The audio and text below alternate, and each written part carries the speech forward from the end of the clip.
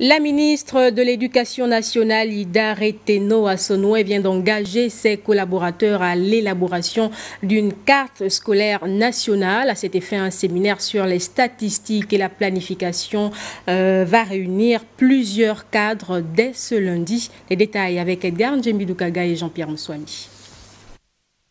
La thématique du séminaire qui s'ouvre ce lundi dans la capitale gabonaise action de la toute nouvelle direction générale de la statistique, de la planification des registres du ministère de l'Éducation nationale avait déjà dominé les échanges lors de la récente tournée de Madame le ministre dans les provinces du Moyen-Ogoué et de Langounier.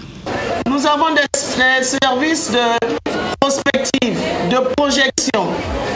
Nous n'avons pas tenu nos statistiques. Nous n'avons pas fait ces projections. Nous n'avons pas de carte scolaire pour savoir que oui, à Tsamba Magotsi, voici les besoins qui s'imposent de façon impérieuse.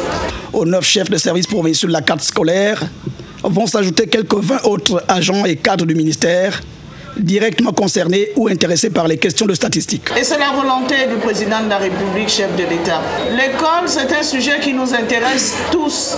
Le séminaire vise à offrir les outils pédagogiques de collecte et de traitement des données indispensable à l'élaboration enfin d'une carte scolaire fiable, identifiant et situant sur le territoire de façon précise chaque établissement, chaque élève, chaque enseignant, chaque agent administratif, le nombre d'établissements ou encore le nombre de structures, pour ainsi s'éloigner définitivement des données confuses ou insolites. En 2011, la presse avait révélé l'affaire d'un collège d'enseignement secondaire à Yétsou dans l'Angounier, avec ses effectifs d'enseignants et des élèves notamment boursiers cet établissement n'a jamais existé.